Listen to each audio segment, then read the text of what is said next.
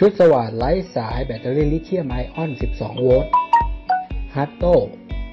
มาพร้อมกับกล่องและอุปกรณ์ 27 ชิ้น แบตเตอรี่ 2 ก้อน แท่นชาร์จบรรจุภายในกล่องพลาสติกสวยงาม